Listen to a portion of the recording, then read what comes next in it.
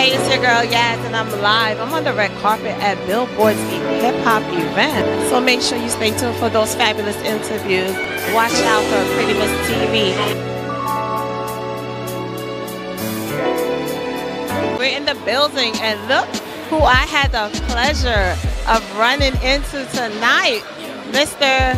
Mack.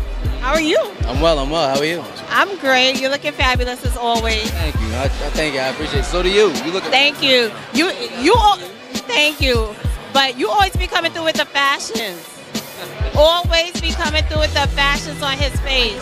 If you're not following him, you need to be following him. Just I like to stay comfy, cozy, man.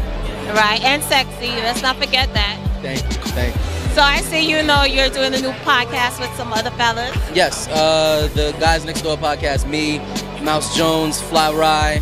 Uh, yeah, it's a, it's a really dope podcast that we uh, we kind of came up with just off of our conversations, uh, talking about all of the things that young Black millennials go through from from mental health to love, sex, and uh, relationships and everything in between.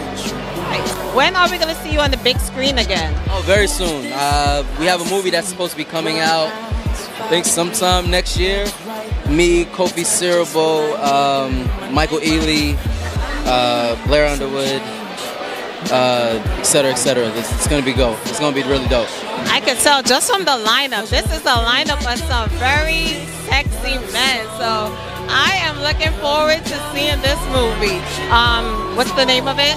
Really love. Really love. All right. So thank you for taking time to, to talk with me here on the red carpet, and I will see more of you. on my way. We can take it back to my crib. We can get away, no photographs. Chilling all alone in my home with you on.